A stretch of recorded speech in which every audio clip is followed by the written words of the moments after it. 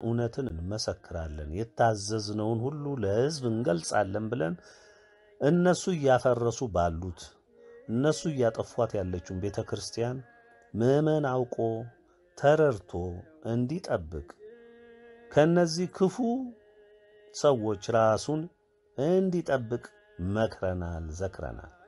ከእግዚአብሔር የሆነውን እውነትም ገልጸናል። መናፍቅ ራሳቸው ናቸው። ካቶሊክና መናፍቅ ምንድን ነው ልዩነታቸው? የካቶሊክ የመናፍቅ እናት ካቶሊክ ነው። እነሱ በካቶሊኩ ጳጳስ የተመለመሉ ናቸው። ራሳቸውም ካቶሊክ ናቸው። የእግዚአብሔርን ሕግ አፍርሰው የአባቶችን ድንበር ጥሰው ሕገ ቤተ ክርስቲያንን አፍርሰው የሲኖዶሱንም ሕግ ለውጠው ራሳቸውን ከእግዚአብሔር መንፈስ ቅዱስ በላይ አድርገው የሾሙ ያንንም ሕግ አባ ጳውሎስ የቸሯቸውን ሕግ እስካሁን ሳይነኩ ተሸክመው አዝለው የመጡ ከሃዲዎች ናቸው። የራሳቸውን ነውር ወደ እኛ ይወረውራሉ። ቤተ ክርስቲያንን እያፈረሱ ያሉት እነሱ ናቸው። እያጠፉ ያሉት እነሱ ናቸው። ምዕመኑን ወደ ገደል እየሰደዱ ያሉት እነሱ ናቸው። እኛን ሊከሱ ምንም አይነት መሰረትና ማስረጃ የሌላቸው ናቸው።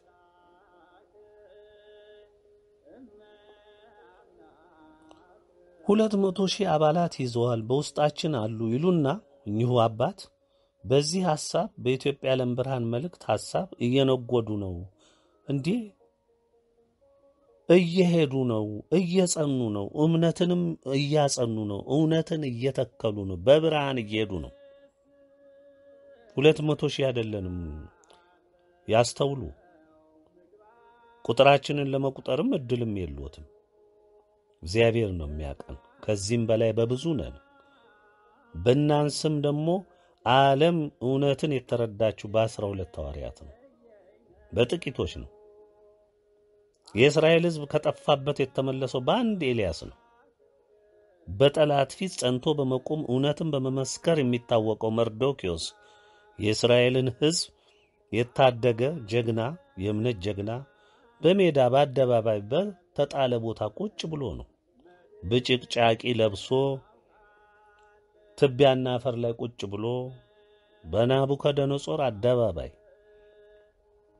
ስለ እውነት ጸንቶ ሳይነቃነቅ የቆመው መርዶኪዮስ በስተመጨረሻ ወገኖቹን ሁሉ የታደገ ጀግና ነው። ልክ ኖት። ማን ያቀናልኛል? እንደ እርሶ ካባ አላጠለቅንም። እንደ በአደባባይ አልተዘመረልንም። እንደ እርሶ የመንግሥት ድጋፍ የለንም። የሚዲያ ማጫጫያዎችም አይደለንም። እኛ እውነትን ብቻ መስክረን በየባታችን ያለን የእግዚአብሔር የአብርሃሙ ሥላሴ ተነናሽ አገልጋዮች ነን። ስለ እውቀት እኛ እውቀት አለን አንልም። መምህር ነንም አንልም። ዲግሪ ያለን PhD ያለን master አለን አንልም። የእኛ PhD፣ የእኛ master፣ የእኛ ዲግሪ እምነታችን ናት።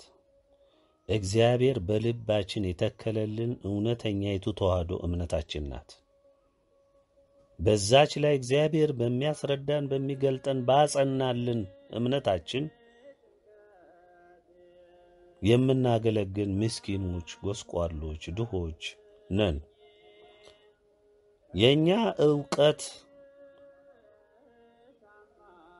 እምነታችን ነው። በእምነታችን ብቻ ነው የምንታመነው። እግዚአብሔርን በመታመናችን እግዚአብሔርን በመፍራታችን ቃሉን በማመናችን እውነትን በመከተላችን የምንደሰት ነን።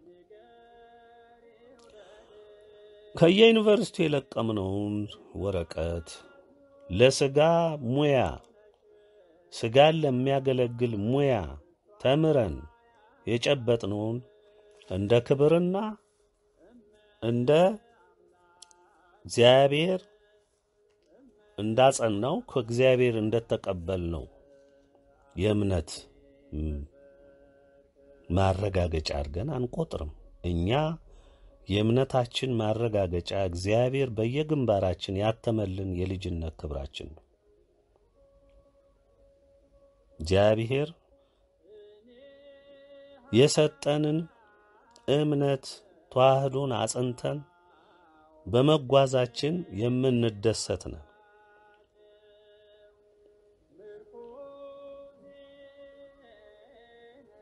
እውነትን ይዞ የሚጓዘውን የኢትዮጵያ ዓለም ብርሃን ቤተሰብን ሲነቅፉ፣ ሲተቹ ይህ በአባቶቻችን የደረሰ ስለሆነ አልደነቀንም።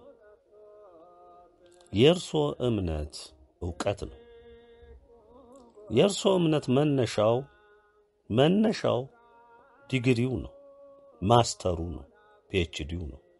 እሱ ደግሞ ለሥጋ ዕውቀት የሚሰጥ መለኪያ ነው።